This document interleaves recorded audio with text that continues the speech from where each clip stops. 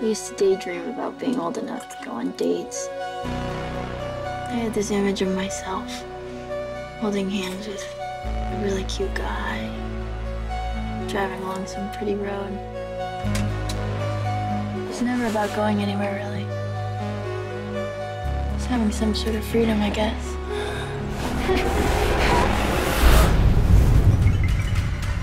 Jay, you awake?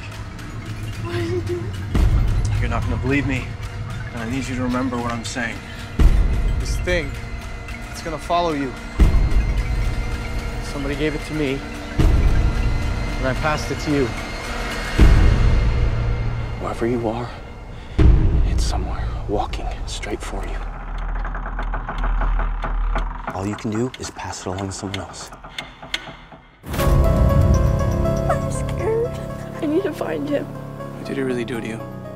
Apparently, he used a fake name to rent a house in the city.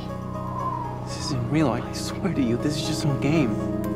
If it kills her, it gets me and goes straight down the line to whoever started it. What exactly is supposed to be following you?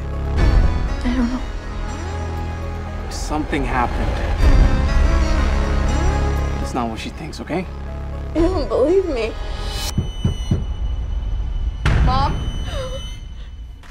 No, it's me. Everything's okay.